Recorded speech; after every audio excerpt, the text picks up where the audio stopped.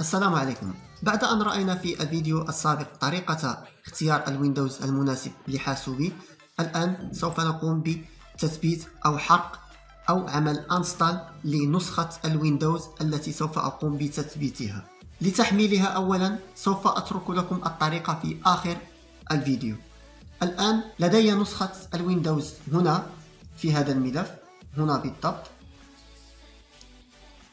سوف أقوم بعمل clic droit و propriétés لأرى هي شكلها على شكل إيزو أي على شكل صورة للويندوز.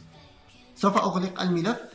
أنا الآن أحتاج إلى برنامج ليقوم بحرق هذه النسخة في الفلاشة الخاصة بي أو تثبيتها. سوف أذهب إلى الإنترنت. سوف أترك لكم رابط تحت رابط هذا الموقع وهو برنامج Rufus. أقوم بتحميله من هنا. Rufus portable من هنا بالضبط Rufus portable يحمل معي البرنامج بسرعة فهو لا يتعدى واحد فاصلة واحد méga octet أقوم بعمل تشغيل للبرنامج. بالنسبة لهذه النافذة هنا أختار صورة الويندوز التي سوف أقوم بتثبيتها في الفلاشة أو ال clé USB الخاصة بي.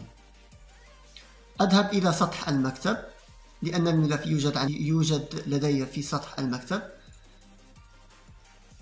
أدخل إلى هذا الملف الذي هو هذا بالضبط. أدخل من هنا. ثم أجد نسخة الإيزو لاحظوا image ISO متوفرة لدي هنا. أضغط على ouvrir.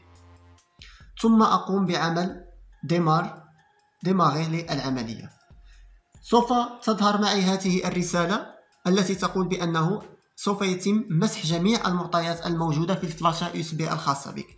بالنسبة لفلاشة USB يجب أن ابتداء من الأربعة جيجا فما فوق بالنسبة لسعة تحميلها للمعلومات. ثم أضغط على OK. وهنا يبدأ معي عملية الحرق وتثبيت الويندوز.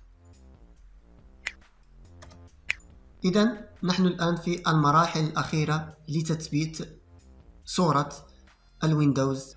لاحظوا هنا هنا بغي أي أن الفلاشة USB الخاصة بنا هي جاهزة الآن. سوف نتأكد سوف نذهب إلى هنا إلى مكان الفلاشة USB فنجد بأنها قد امتلأت بتقريبا ما يعادل 2.80 giga octet من المعطيات. سوف ندخل إليها. ثم نجد هنا setup أي المكان الذي يتم البدء بتثبيت أو البحث عن الويندوز منه. إذا الفلاشة USB الخاصة بنا هي جاهزة الآن.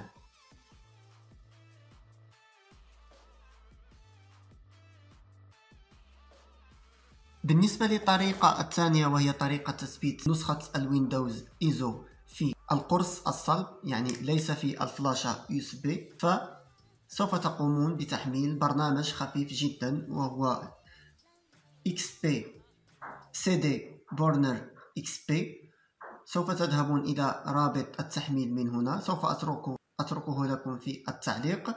ثم تقوم ب... تقومون بعمل تحميل وتثبيت البرنامج فهو سهل التثبيت. تقوم تقومون بتتبع المراحل فقط.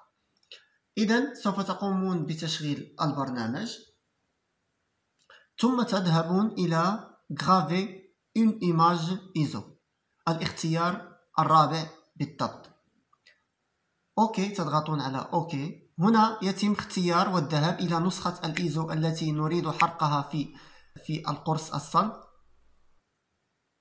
نذهب إلى المكتب. فنجد هنا نسخة الإيزو من هنا. نضغط على ouvrir لاحظوا fichier ISO ouvrir ثم هنا يكون لدينا القرص الصلب مدرج أو في مكانه في حاسوب الحاسوب الخاص بنا. فقط القرص الصلب عليه أن يتعدى آه، سعة الأربعة آه، giga octet. أي نوع؟ DVD وليس سي دي ثم تقومون هنا ب graver le disque وتتركونه إلى أن يتم إلى أن ينتهي من مراحل حرق وتثبيت الويندوز. ثم بعد ذلك يمكنكم استعمال ذلك القرص كأداة لتثبيت وعمل install للويندوز في الحاسوب الخاص بكم.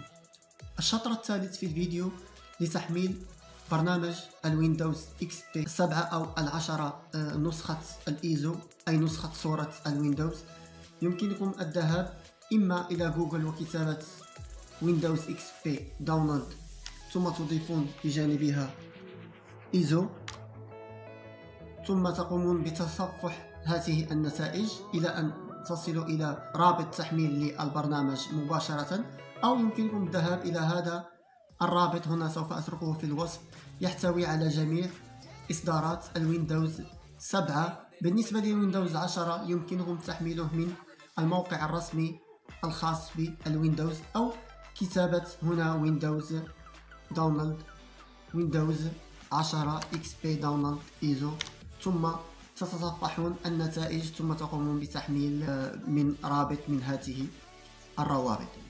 إذا في الفيديو السابق رأينا كيفية اختيار الويندوز المناسب للحاسوب الخاص بنا؟ فقررنا إما تحميل ويندوز 10 ب 32 بايت أو ويندوز 10 بال 64 بايت أو الويندوز 7 بال 32 بايت أو الويندوز 7 بال 64 بايت. وفي هذا الفيديو رأينا كيفية حرق وعمل install وتثبيت نسخة الويندوز إيزو في الفلاش في الفلاشة USB وكذلك في ال DVD وكآخر مرحلة رأينا كيفية تحميل نسخة الإيزو للويندوز 7 والويندوز 10 في الفيديو القادم سوف نقوم بعملية تثبيت للويندوز مباشرة بتصوير شاشة الحاسوب وسوف تقومون بتتبع المراحل معي من البداية إلى النهاية.